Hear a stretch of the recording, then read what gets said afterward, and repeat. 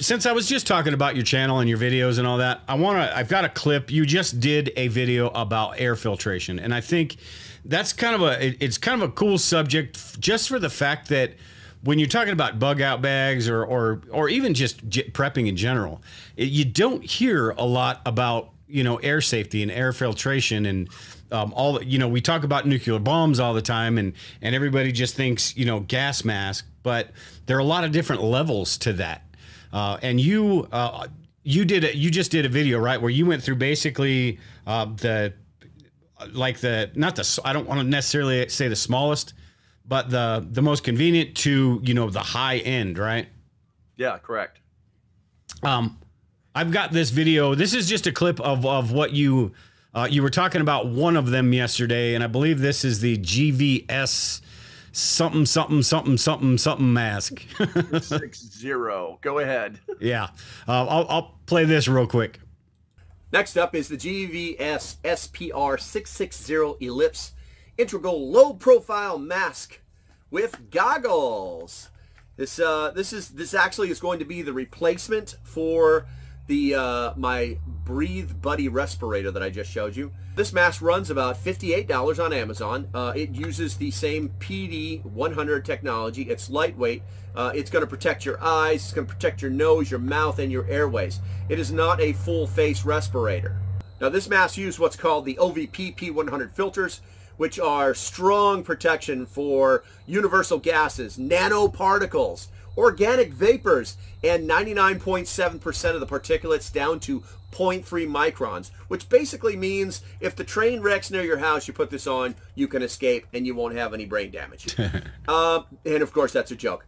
The, what I really like about this mask is it does offer eye protection. It is just a little heavier than the Breathe Buddy, but it has these protective covers over the filters that you can literally pop on and off. You pop the sucker on your face, you pull that out. Uh, you probably can see it down inside here. You can pop those out right there, and uh, they're going to basically protect the filter from uh, any damage, any dust building up, anything like that before any use.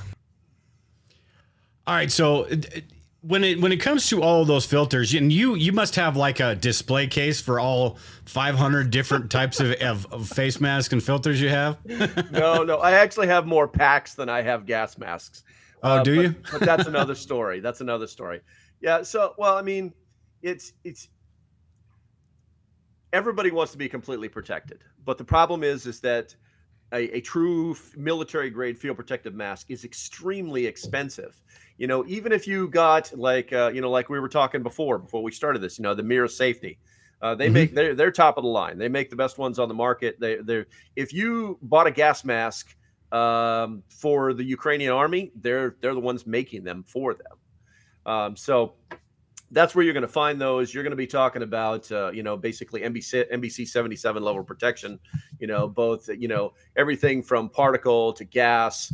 Uh, I mean, nanotech. I mean, everything is going to get filtered out in those big ass 40 40 millimeter filters, um, and uh, that's that's the military size. Uh, so you know everybody wants to have that level of protection but that sometimes they don't understand that they they just don't need that level of protection because that yeah. is desi- that's designed to filter out nerve agents uh, blood blister um, everything down to the, the, smallest particle possible and even then they don't understand that that if you god forbid were ever in that environment and uh, you just happen to get a suit on fast enough and you just happen to get a mask on fast enough that that you're going to um, you're you're going to uh, only have that protection for as long as that filter will last. And depending on the agent, you know what I'm saying? And and then it goes, then you go down to the rabbit hole with how many filters do you have and can you get out of there long? You know what I'm saying? You're pretty much gone.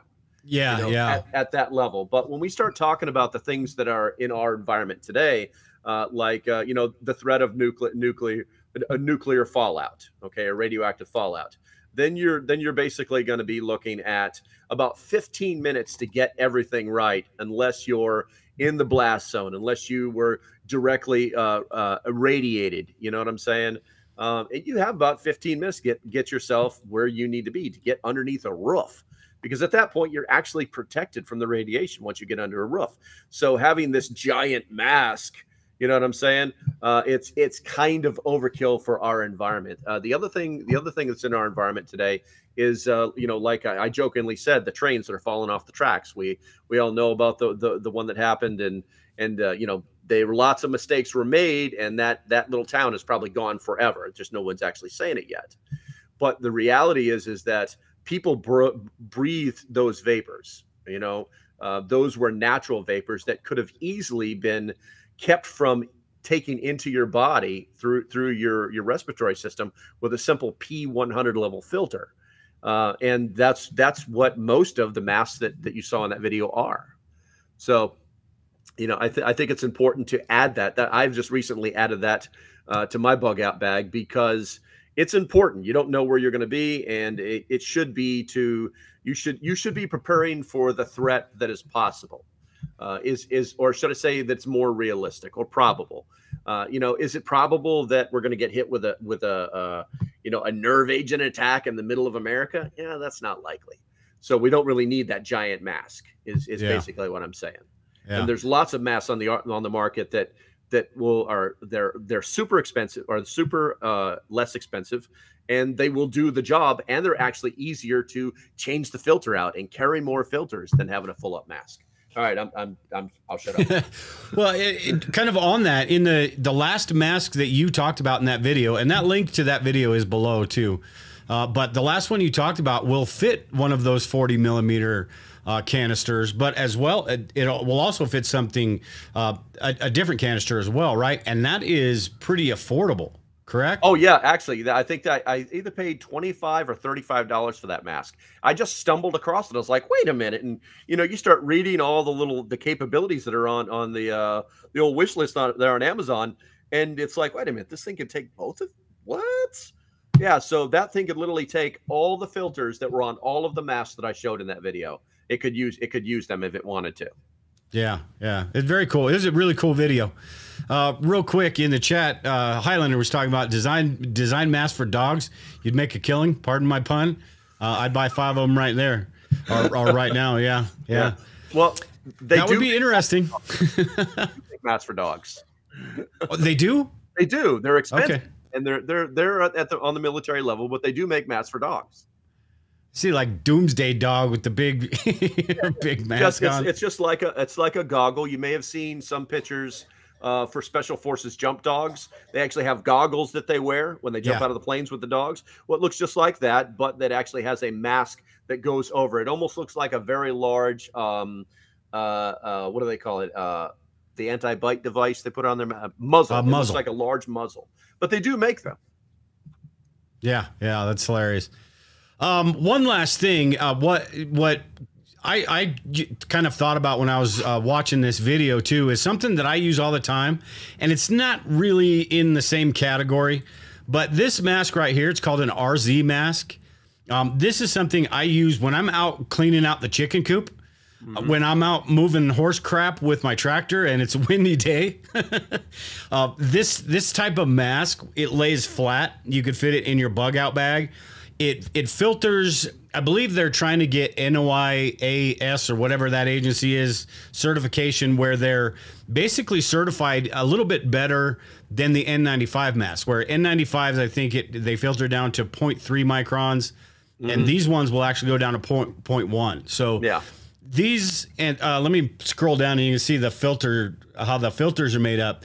Not not the same thing. So don't don't get me wrong, everyone. It's not the same as a full full blown gas mask, but um, it's got the activated carbon cotton liner, whatever filtration media means. I don't know that that could mean a hundred different things, uh, and a soft inner liner. So uh, these are like fifteen bucks, and the the extra the extra filters in there like eight bucks. So they're just really affordable and convenient. And like you were talking about, when you're the other ones are sort of overkill as far as what preppers might need them for. But if you're in a bug out situation, maybe a, a wildfire, something like that, mm-hmm. one a, a, mask like this would work. Even the respirator would work better. Uh, but yeah. you you don't need that three hundred dollar mask, is what I'm saying. But yeah, exactly. Just, just kind of know what you're, you know, know what you what you need it for. Yeah, and and you know, I hate to say this, but it's like as as as guys, we we kind of screw up sometimes, and we don't read the instructions And some people buy masks and they don't realize that they don't filter smoke.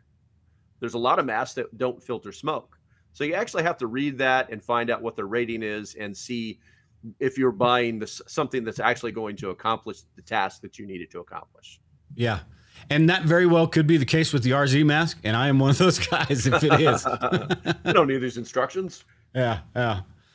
Um, but it, it it just is a, a you know one of those convenient cheap masks, but it is not the same thing. So if you are looking at something, uh, you know, for larger scale things, but at the same time, like you were talking about, those full blown military style masks, they're you know it'd be cool to have. I mean, I'm I'm gonna get one and do a review on it and show what it can do and all that stuff. But uh, the the opportunities for you to actually use that in in a normal civilian style life here in the United States, even as bad as we think things are, uh, are pretty far and few between. Oh but yeah. You you never know. So I mean, if you've if you if you want to and you got the money, do what you need to do. You know, Yeah. might as well go big.